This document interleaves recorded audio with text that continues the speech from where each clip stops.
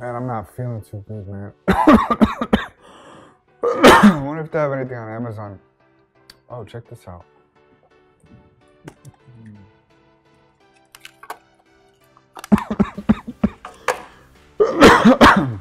Works great.